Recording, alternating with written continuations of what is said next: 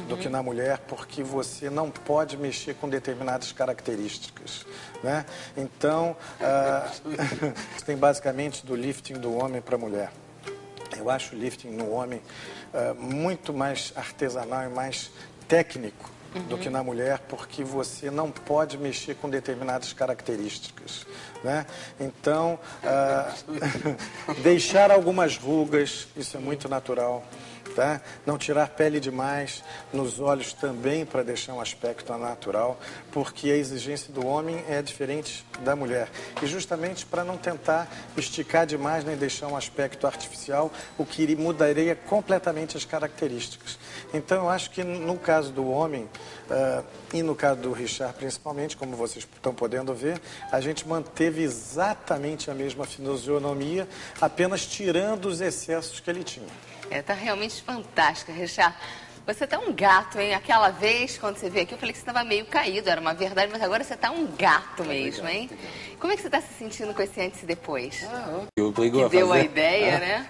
Era que é o ponto, o ponto do negócio. É verdade. E Então. você, como é que, como é que foi teu pós-cirúrgico? Ah, foi ótimo, não teve problema nenhum. Tanto que eu viajei poucos dias para a França. Eu acho que nem uma semana depois. Nem uma então- semana depois, Ah, estava excelente. Então você está chegando de Paris hoje, ou ontem. É, ah, aliás, quatro dias atrás, mas é, foi, foi, foi tudo ótimo, não teve problema nenhum.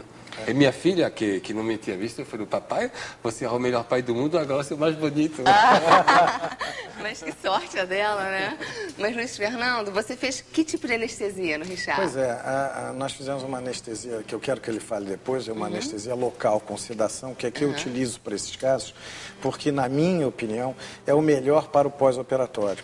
Então, se você faz uma cirurgia rápida, associada a uma anestesia local com uma sedação, ou seja, você faz a anestesia local, deixa ele num plano com a pressão que ele tem e deixa esse tipo de sedação, o que, que acontece? Ah, o pós-operatório é muito mais rápido, incha menos. Então, não inchando junto com a técnica apurada da cirurgia plástica, você vê que praticamente você não detecta a cicatriz, tá? Apesar da cicatriz no homem ter que ser feita um pouco mais na frente na orelha, para senão a barba não entra por dentro do do ouvido, então isso não pode, e você pode ver que mesmo Vamos- assim, vamos olhar onde que é a praticamente cicatriz? não aparece pra, Não praticamente aparece. nada. Então vira de lado. É, não dá pra ver nada, né? Fantástico. Ah, As imagens estão passando aí no vídeo, né? Do antes. Até eu não vejo nada. Você também tirou as pálpebras? Também, também mexemos discretamente, porque no homem tudo tem que ser uma coisa mais discreta, entendeu? E como eu, como eu já te disse hoje, é, mais ou menos tem 35%, 35% a 40% do consultório de um cirurgião plástico é de homem, tanto para lipoaspiração como para outros, outros tipos de, de cirurgia. E hoje, com essa técnica que nós utilizamos, os homens sentem muito mais confiança em fazer um lift do que antigamente.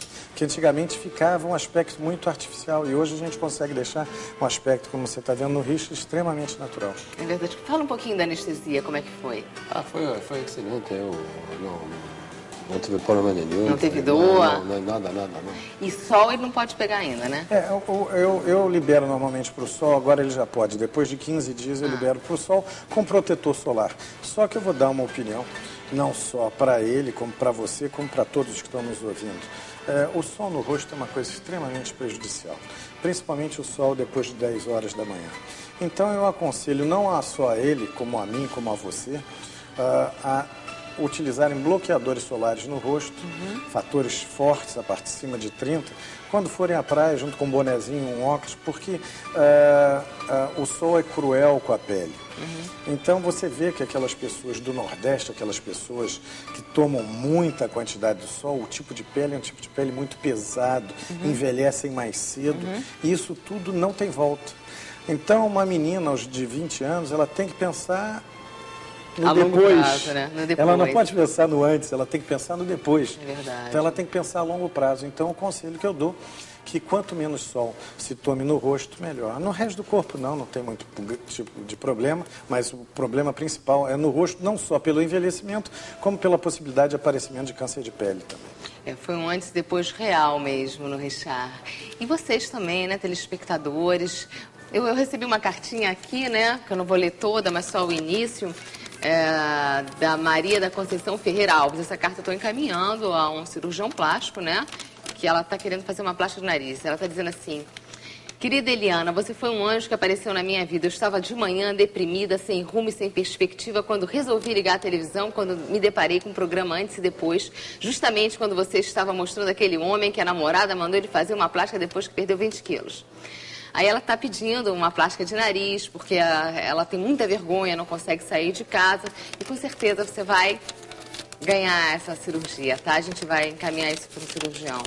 O importante, Helena, por exemplo, é interessante ouvir esse caso, porque hoje a gente deve analisar o rosto de uma maneira global. Uhum, né? Porque está muito natural, então, né, a? Então, às vezes, por exemplo, numa mulher, por exemplo, a gente pode associar e fazer o que a gente chama de perfiloplastia, ou seja, associa a plástica facial a um pequeno eh, retoque na ponta do nariz, porque com o envelhecimento o nariz tende a dar uma caída, às vezes o queixo que tende a dar uma caída também. Uhum. Então, como na lipoaspiração hoje nós fazemos a lipoescultura, ou seja, vemos a pessoa como um todo, como uhum. análise corporal, no rosto também. Nós vemos o rosto hoje de uma maneira global. A pessoa não é um nariz, não é uma pálpebra. A pessoa é um ser humano em que a gente tem que analisar as coisas de uma maneira global. O Richard teve muita sorte porque ele teve um escultor, um artista plástico de primeira, né, que trabalhou em cima dele. Vocês também enviem suas cartas aqui para a nossa produção do programa Antes e Depois, Rua General Padilha, 134, São Cristóvão. E também enviem e-mails, eliana.antesdepois.com.br. Nossa produção é o 589-0420, Rio de Janeiro. Eu gostaria que o senhor deixasse o seu telefone, que está aqui, deixa eu dizer, é o 266-3537. Doutor Luiz Fernando da Costa, 266-3537. Está de parabéns e você, que o teu depois seja realmente iluminado. Eu quero ajudar, botar mais uma coisa assim. Algumas pessoas, alguns homens têm dúvida ainda. Olha para mim, não hesita, mesmo que não tenha uma namorada, uma namorada como a minha, não, não hesita, faz uma plástica e procura o Dr. Luiz Fernando, que realmente ele é maravilhoso. Viu? É verdade, é? porque é? de repente o cara está sozinho, vai arrumar uma namorada com certeza depois dessa transformação geral. Lembrando a nossa caixa postal, é 62595, CEP 222 52 90, Rio de Janeiro. Tá? Nós vamos agora chamar nossos comerciais e no próximo bloco vocês estarão tendo assim a alegria de reencontrar Ana Maria Nascimento Silva Atriz com quatro pudos lindinhos com o seu veterinário Dr. Goto, que é o veterinário dos cachorrinhos da Xuxa. Vamos aos comerciais, voltamos já já com antes e depois.